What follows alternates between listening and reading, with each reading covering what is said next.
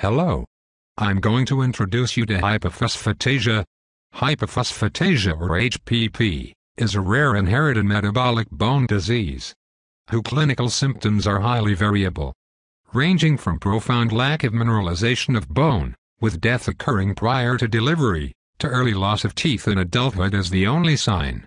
Still, other affected individuals may have characteristic biochemical abnormality, with no outward clinical signs of the disorder while others have multiple fractures, with little to no trauma that causes fractures throughout their lives.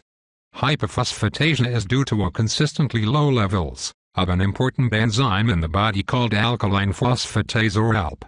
An enzyme building block that bonds with other minerals to make bones strong. Hypophosphatasia HPP is caused by mutations within the ALPL gene. This enzyme plays an essential role in mineralization of the skeleton, and teeth. Mutations in the ALPL gene lead to the production of an abnormal version of ALP that cannot participate effectively in the mineralization process. A shortage of ALP allows several other substances, B6 and calcium, which are normally processed by the enzyme, to build up abnormally in the body. Prevalence of the disease it has been estimated that the severe forms of hypophosphatasia HPP occur in approximately 1 per 100,000 live births. The more mild childhood and adult forms are probably somewhat more common. In most cases HPP is inherited in an autosomal recessive inheritance pattern, which means both parents may appear to be healthy, but can still carry one defective gene in their cells. Though there is not always a clear distinction between these official forms, the medical and scientific communities have used the following classification for a very long time. 1. Perinatal. 2. Infantile. 3. Childhood. 4. Adult onset. 5. Odontohypophosphatasia. 6. Pseudohypophosphatasia. 1. Perinatal is the most severe form. Common symptoms of perinatal may include profound skeletal hypomineralization that may result in deformed limbs, or a complete lack of skeletal formation. Respiratory difficulties due to undermineralized ribs, hypotonic, vitamin B6 responsive seizures, long-term survival is very rare, and stillbirths are common. Craniosynostosis is also a common symptom. 2. Infantile. Onset occurs between birth and 6 months of age. Common symptoms of infantile may include inadequate weight gain, failure to thrive, deformities of the bones, with curving or shortened limbs, reoccurring fractures with no trauma, x-rays showing healed fractures. Stenosis of the cranial sutures may occur. The illusion of open frontanel. Respiratory compromise due to undermineralized ribs. Hypotonic. Vitamin B6 responsive seizures. Increased levels of calcium hypercalciuria can lead to renal compromise and episodes of recurrent vomiting after eating. About 50% of affected children have been reported to die during infancy, usually from severe respiratory failure and from central nervous seizures. 3. Childhood Common symptoms may include premature loss of baby teeth before age 5, delayed walking, a softening of bones in children leading to fractures and deformity which is predominantly caused by a vitamin deficiency. Ricket undermineralized and deformed bone resulting in short stature and curved long bones. Knock knees. Hypermobile joints. Bone pain. Fractures are common. Low blood levels of alkaline phosphatase, and either high B6 or normal B6, hypotonia. A very significant waddling gait also called Charlie Chaplin gait. 4. Adult onset. Common signs may include undermineralized bone mistaken for severe osteoporosis, osteomalacia bones known as the adult form of rickets, recurring fractures in feet, and partial fractures in the femur and hips called pseudofractures, chronic pain, premature loss of adult teeth, may suffer from clinical evident acute inflammation of synovial joints that resembles gouty arthritis, or pseudo-gout. Sudden, severe pain in joints caused by crystals in the joint's lining. History of mild rickets in children leading to fractures and deformity. 5.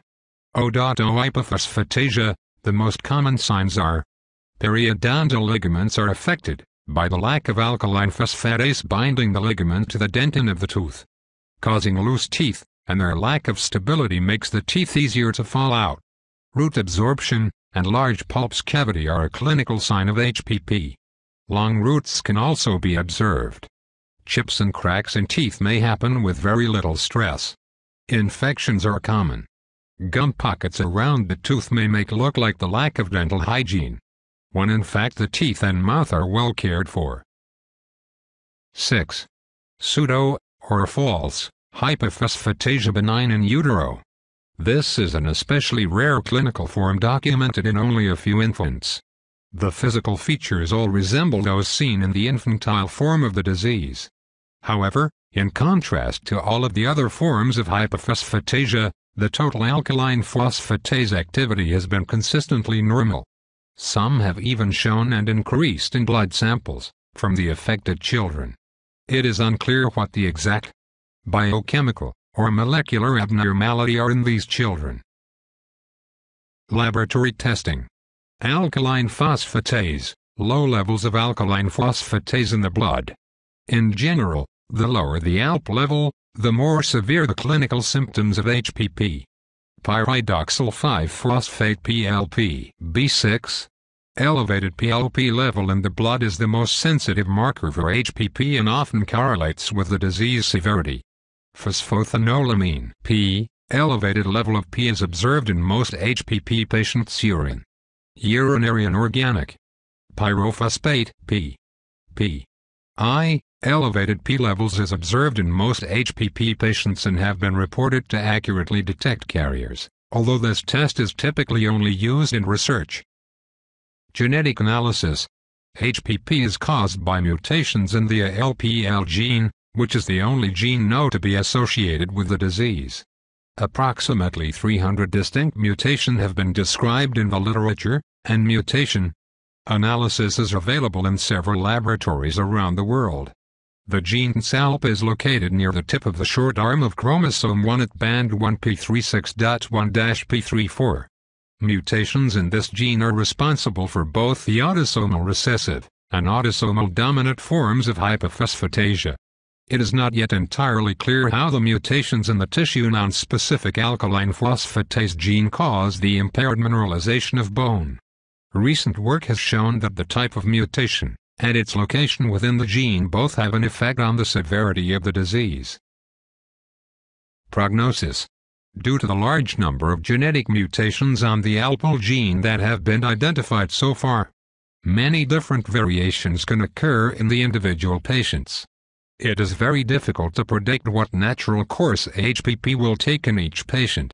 In fact it has been said that no two patients with HPP are identical. Though there are many common features. A reliable long-term prognosis for a patient is yet hardly feasible.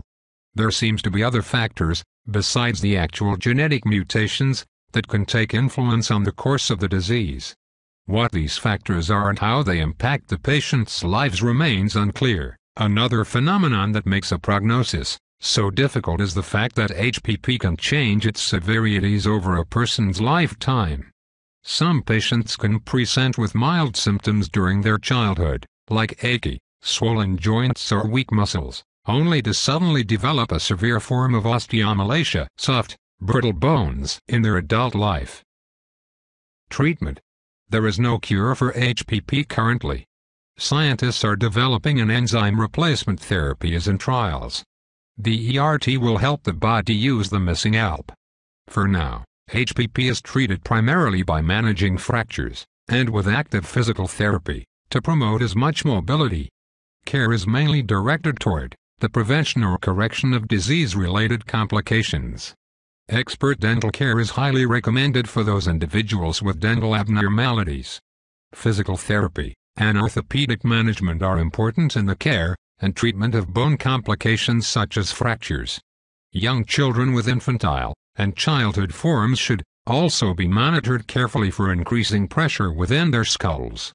Craniosynostosis and scoliosis needs to be monitored regularly. Let's recap. Hypophosphatasia is characterized by defective bone mineralization and deficiency of the tissue nonspecific isoform of the enzyme alkaline phosphatase. HPP causes a mutation that doesn't allow alkaline phosphatase to bind to the osteoblast. Osteoblast builds bones during your skeleton remodeling process. People who has this rare metabolic disorder will likely have soft bones that can break with little to no trauma, kidney and fatigue, bone pain, can be so intense that a wheelchair is needed for mobility. Bone edema is possible that can mimic osteosarcoma. Bones can curve, and deform over time this may lead to trouble walking, and fractures needing surgical intervention. Some patients may need the assistance of braces, or medical devices to stay mobile. Fatigue from weak muscles, and bone pain from microfractures can make it hard to keep up with their peers. Early tooth loss in both primary and secondary teeth, severe perinatal will have failure to thrive, possible seizures. No cure has yet been found. Care of the symptoms by a team of doctors is recommended. Traditional treatments for rickets or osteoporosis should be avoided, these treatments could make symptoms worse. In conclusion hypophosphatasia is a progressively, debilitating, rare metabolic bone disease. Thank you for listening. Goodbye.